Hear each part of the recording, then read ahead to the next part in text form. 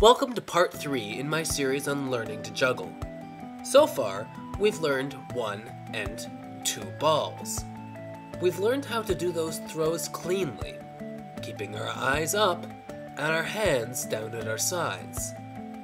Now we're going to learn how to take those two skills and add in a third ball. Believe it or not, it's just as simple as adding the third one in. If you've been doing the timing correctly, then this should be easy. However, just getting started can be intimidating and full of drops. You'll always start off with the hand that has the most objects in it. If you were starting with three balls, that would be two balls in one hand and one ball in the other. So with five balls, one hand has three, one hand has two. In this exercise, you'll start off with two in one and one in the other. Always start off with that hand that has the most objects. Start off, this time, by emulating what you did in the second lesson, but just holding on to that third ball.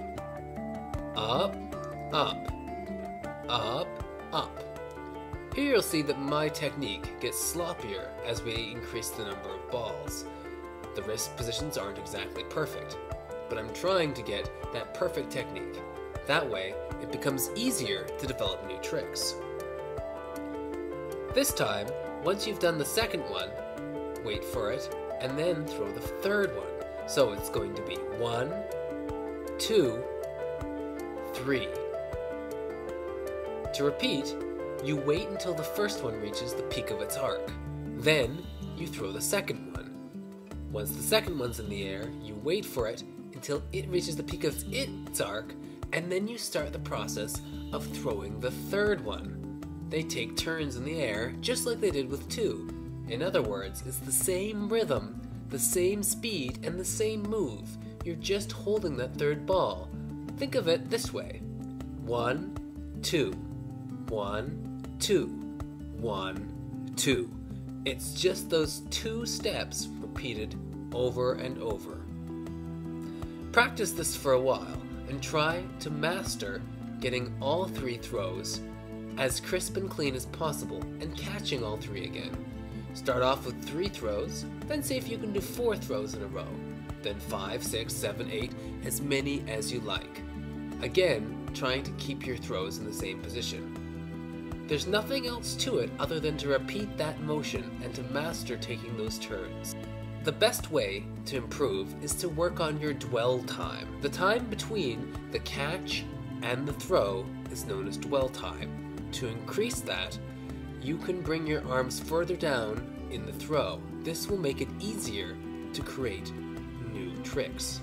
Another way to improve your technique is to work on your center, to find where you can juggle in the space around you without changing the pattern.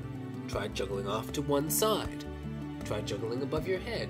See if you can go in a nice, clean circle all the way around your body.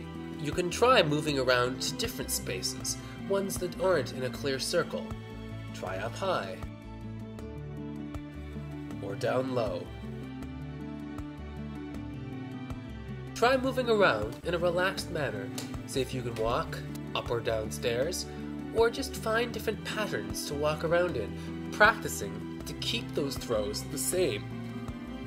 There are many, many tricks you can do with three balls. Once you've mastered the three ball technique, adding new tricks in is as simple as taking tricks you learned with one ball and applying them to all three. However, I wanted to keep this simple and focus on learning the three ball technique. In the next episode, next week, I'll be showing you how to expand what you've learned into adding and learning new tricks. I'll also show you how to juggle two balls in one hand, how to turn that into four balls, or even how to juggle five.